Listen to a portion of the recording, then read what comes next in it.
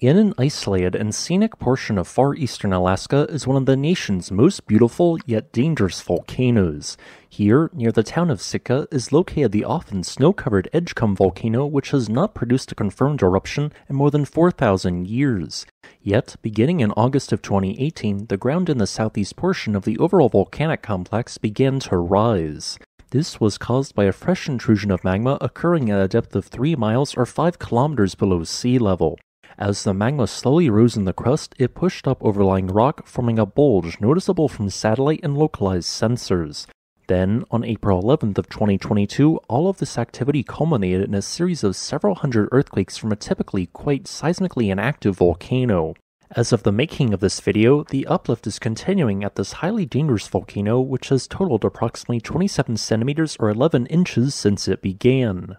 While it is unknown whether or not this intrusion will result in an eruption, it is a bit worrying considering that like El Chichon and Mount Pinatubo, this volcano appears to primarily produce VEI 4, 5, or larger eruptions. While this is the most notable story of the ground rising from a volcano which is not erupting, it is not the only ongoing case of this worldwide. For example, in Oregon, part of the Three Sisters volcanic complex is rising, and in the Philippines, the ground is being pushed upwards at the Mayon stratovolcano. But there is more. Across five continents, 14 other volcanoes, in addition to what was already mentioned, have sections of their landmass being pushed upwards, primarily by the intrusion of magma.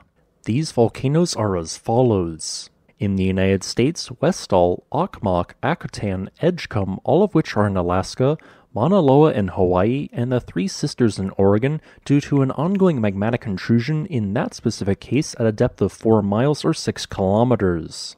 In Iceland, long-term uplift has been occurring at two volcanoes which have large calderas, Askja and Katla.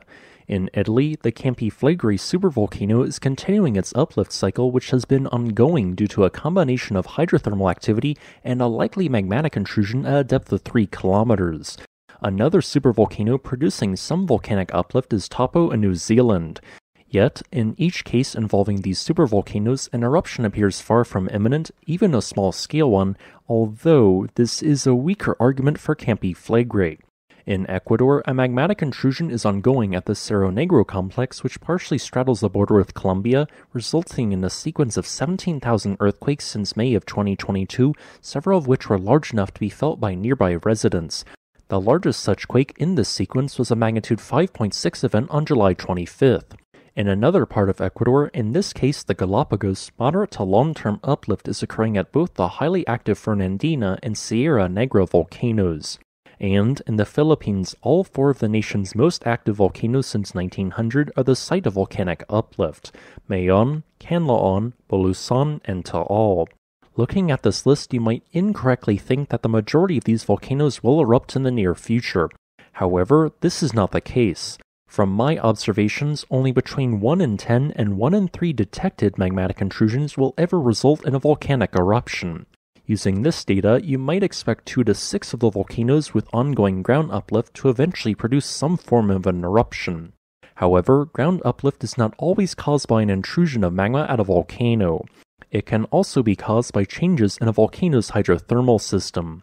Regardless of the cause of continuing ground uplift, each and every one of these volcanoes continues to be closely monitored due to an increased, although overall low threat of a volcanic eruption. Thanks for watching. If you would like to request a specific topic, please leave a comment below. Additionally, I would like to thank my patron Futurismo for increasing their pledge on this channel's Patreon.